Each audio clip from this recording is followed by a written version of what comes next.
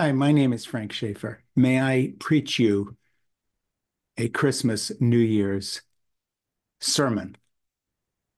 My father was a minister who became a famous evangelical leader who, alongside me as his nepotistic sidekick, helped push the evangelical movement to the far right because of our, quote, stand on abortion. And I've spent the last 40 years regretting that and doing everything I can, including writing the memoir Crazy for God, explaining from my point of view as a fly on the wall in all the significant meetings that took the evangelical movement to the far right with President Reagan, two presidents Bush, Ford, and many others that we knew and worked with And I wrote about this. My perspective, therefore, as someone who has been part of the hard evangelical right and then who left that movement, and to the surprise of some, as I talk about in my memoir, Crazy for God, it wasn't because of some embittering moment where I decided my parents or my religion or my God had failed me.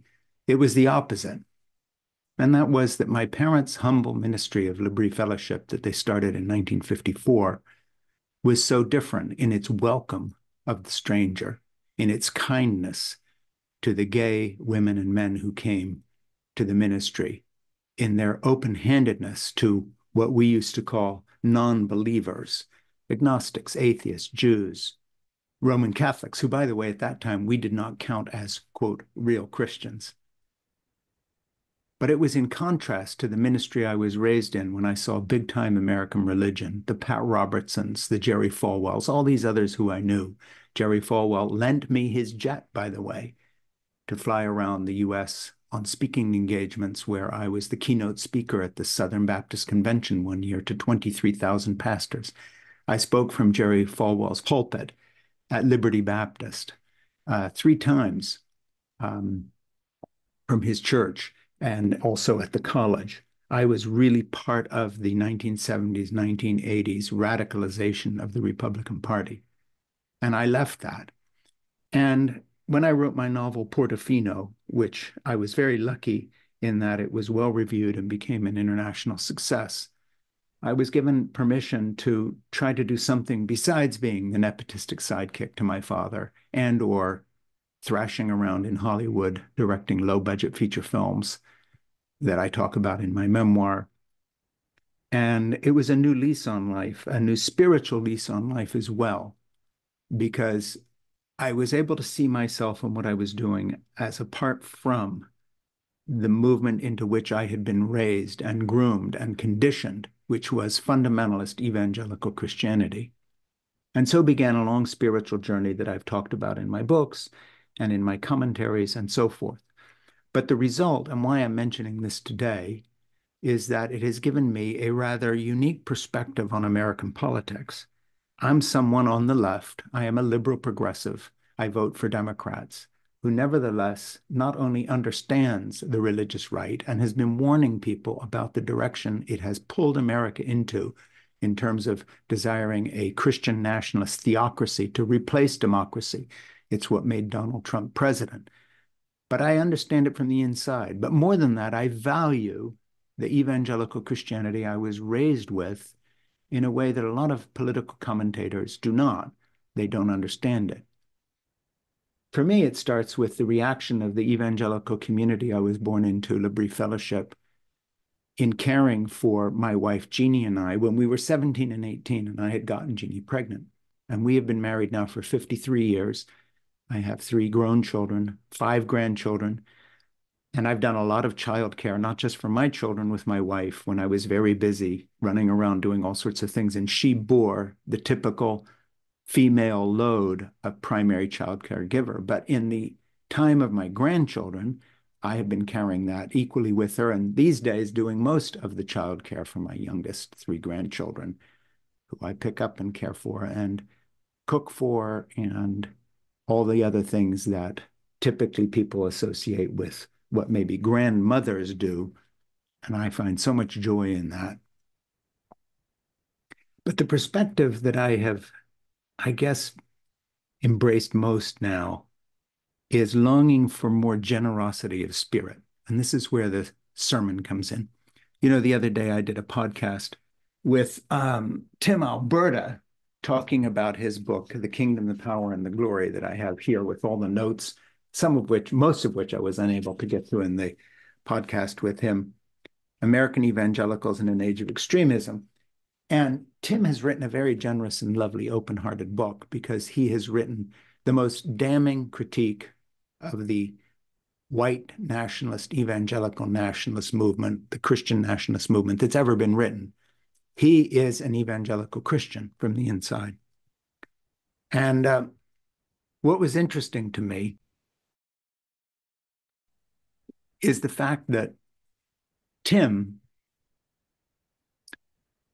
is not only still an evangelical Christian, but his critique of evangelicalism is not from the point of view, the typical secular point of view of the left.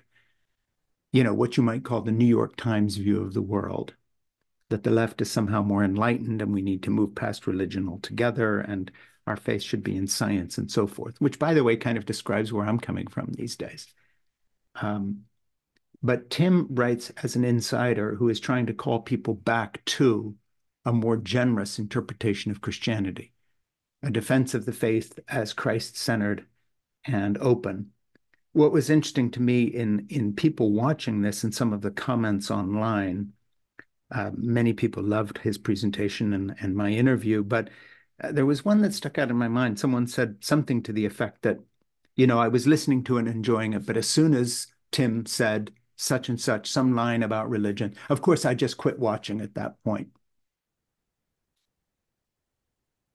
the comment to me illustrated the insular bubble we all not only live in, but we hide in now.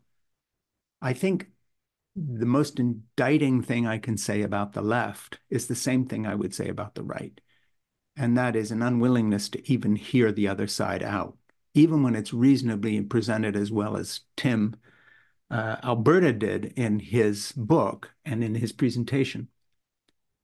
If, if, if left wing people who vote for Democrats and consider themselves to be ethically superior, perhaps, and morally superior to right wing people, are not even willing to listen to someone like Tim Alberta and hear the best, most honest presentation of Christianity that I've heard in a long time, both in my podcast with him, but also in his book, The Kingdom, the Power, and the Glory, then these folks are as close minded as any Trumper and as dangerous to our political survival as a nation. So, one of the things that Ernie Gregg, my producer, and I have done is make a conscious decision, and this is part of my Christmas sermon, by the way, to open the door in our podcast to people, wait for it, that we disagree with on the opposite side of the spectrum, whether talking about feminism or gay rights or the woke movement or tenure at universities or controversies, things where we differ from them. And we're trying to find reasonable people like Tim Alberta, for instance, who I disagree with on theology. I am an atheist, but I'm a weird atheist because I'm an atheist who prays, and I describe myself, as I did in one book of mine, as an atheist who believes in God. In other words, juxtaposing opposites and understanding that paradox is where we all really live. But that said, I think that it's really time to talk about the lack of generosity of spirit we all suffer from. We have all painted ourselves into an ideological corner. Now, I did a commentary a little while back in my little It Has to Be Said series. And by the way, please subscribe to Substack and my It Has to Be Read series. We've started a book club. Tim's book is one of the books in the club. And we have some other wonderful books that we're going to be talking about. Some we quote agree with, some we disagree with, none that we agree with completely, none that we disagree with completely. Um, but my point is that in the new year, as we go into 2024, which is going to be the most fraught year any of us have ever experienced politically, where this demagogue horror of Donald Trump is running again for the presidency, followed by people who can only be described as something like a religious cult, a political religious cult that is really reminiscent, as Tim Alberta makes the point in The Kingdom, the Power, and the Glory of the National Socialist movement and the rise of fascism in Europe of the 1930s. This is not a stretch, this is literal.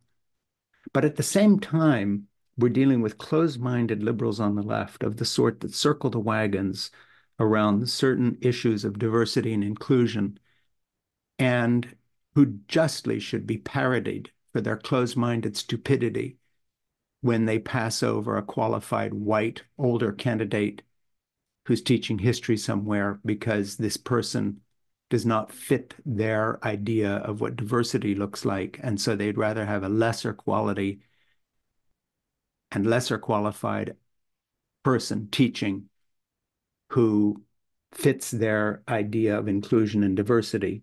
This way also lies death. And so what I see forming is not a kind of a moral equivalence.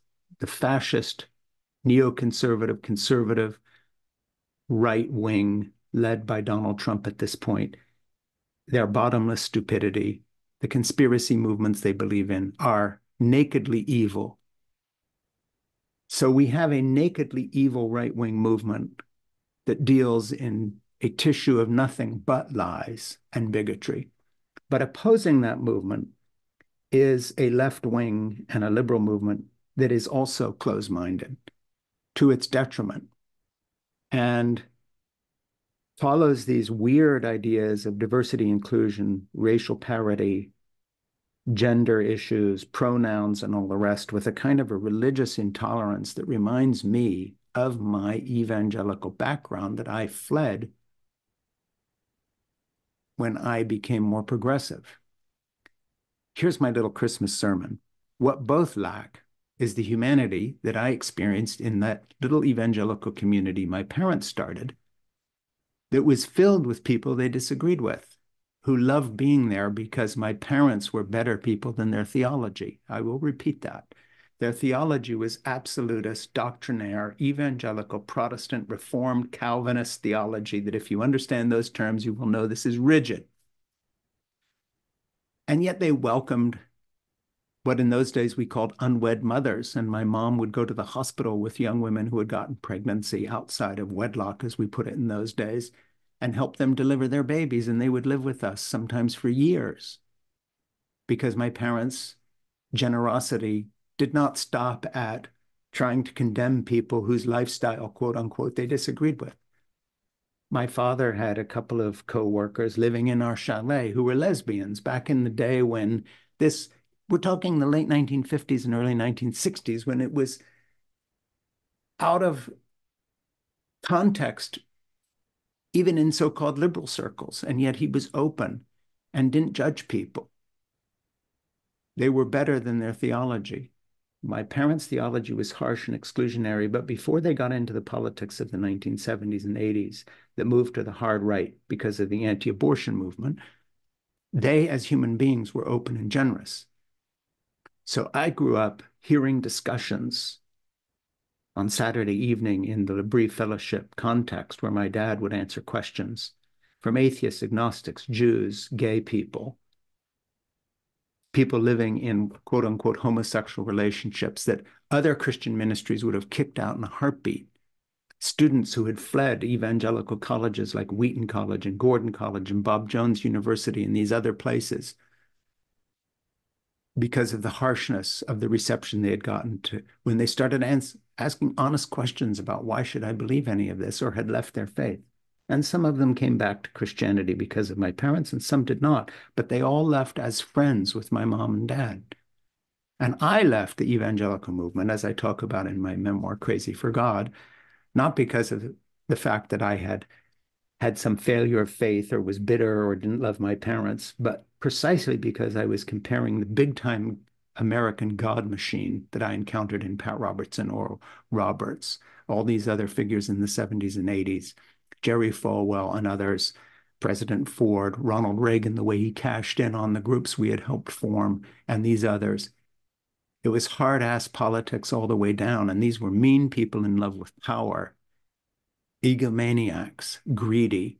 Some of them were real con artists, like Pat Robertson, or today is the case with Franklin Graham, Billy Graham's son, a hard right, neo fascistic Christian nationalist. These people would string up gay people and trans people. They would have them hanged. They believe in the Old Testament law, or at least they believe in the politics of power and will use anything that comes to hand, including the Bible, to justify themselves, as my friend Tim Alberta has said in The Kingdom, the Power, and the Glory. And so my Christmas sermon is just as Tim appeals to follow Jesus in a way that has been lost. And some of my more liberal listeners say, well, at that point, I quit listening because that's disrespectful to other religions. Sorry. You really should listen to people you disagree with. You should have finished the interview. It was a good one. And the book is great and deserves your reading, whether you like his theology or not, unless you don't want to understand America today and have just written off the other side and said, we're not even talking to them it's time for enlightened liberals tenured in universities making sure they only hire professors that are the right color to fit in with their idea of diversity and inclusion to understand that there are people out there they disagree with who are the wrong color as far as their new diversity and inclusion program is aiming for and the same with the publishing industry by the way and others to imitate what my parents did in L'Abri Fellowship, not the theology, but the openness. We can get there. We need real diversity and inclusion, and that means listening to people you disagree with. That means not being open to their fantasies and their conspiracy theories and their hatred. I'm not talking about the crazy MAGA Trumpers who will never be convinced or change anything. I'm talking about the thousands of evangelical pastors still trying to do a good job who will read Tim's book and despair because it's their own right wing con- congregations that are getting them fired, or at least some sliver within the congregation, as Tim talks about in his book with various pastors who have been denounced by people within their own congregations who want only MAGA followers in that congregation and they don't like a pastor who still dares to talk about Jesus and love. But we're doing the same thing on the left. And we are turning left wing ideas of inclusion and diversity into a joke because they are so nakedly hypocritical. Because now we've just come up with another exclusionary way of looking at people because of sexual orientation. Or we have our own litmus test and checklist that they have to check off or we won't hire them to teach history or geography somewhere because they don't fit our idea. And our leading universities are on a cruising, cruising for a bruising, as we would put it, because the right wing is going to make hay out of this hypocrisy. Diversity and inclusion that doesn't actually include everybody anymore because they're so diverse and inclusive, they have to exclude people. This is not going to work. So in a, in, in a weird way at this Christmas, I would say, let's all learn whether we are atheists like I am or believers like my friend Tim Alberta is. But let us all for a moment pause and contemplate the message of New Testament Christianity as it developed. That was truly inclusive in which there was neither Jew nor Gentile, nor male nor female. That was the ideal. However, it fell short. It was not about sexual orientation or color. It was not about ideology or who you vote for. But was rather about something I experienced the other day in the local fish market that I go to to pick up a pound or two of haddock or maybe splurge and get a couple scallops and cook them for Jeannie, who I've been with for 53 years, for a special lunch with a glass of champagne, because hey, it's Christmas time. And an older woman, let's say she's probably 60, 65, who I've known for a while, who works there, was standing behind the counter. And I said to her, How you doing? And she says, Oh, all right. I said, No, no, how are you really doing? And no one else was around. It was great. We could talk for a minute. And she was saying, Not very well. My husband's been in the hospital twice this month, and he has cancer and he's on oxygen and at home. And I thought, you know, that the worst had happened. And then my 14 year old niece died last week. And between organizing visits for him, driving him in for checkups at the hospital, and helping my sister organize her funeral, it's tough. So, um, you know, we're not supposed to touch people anymore because, you know, whatever reason, but I reached across the counter and took her hand. And I just said, I'm really, really sorry. And we just stood there and talked for a few minutes. And she thanked me for talking to her and caring. We're not friends, we don't know each other. But in that moment, my parents' evangelical Christianity was alive and well. That's how I was raised. This wasn't some new diversity inclusion thing. This wasn't a liberal or conservative. This was human to human. I don't know how she voted, and I don't care. For all I know, her husband's a MAGA Trumper, and I don't care. Because the bottom line is, it's not about who you vote for. It's about the empathy of shared pain and joy. At the end of that time, I said to her, because I was being honest, I said, I don't know what to say. I know it's the holiday season. And she grabbed my hand again and looked in my eyes and said, No matter what's going on, I still want to wish you a Merry Christmas. And she wasn't someone saying that because she's reacting to happy holidays from the point of view of being a Christian. I don't think she is a Christian in the sense my parents would mean it. But she said Merry Christmas in the midst of her suffering to someone who had for a minute stopped to share that suffering.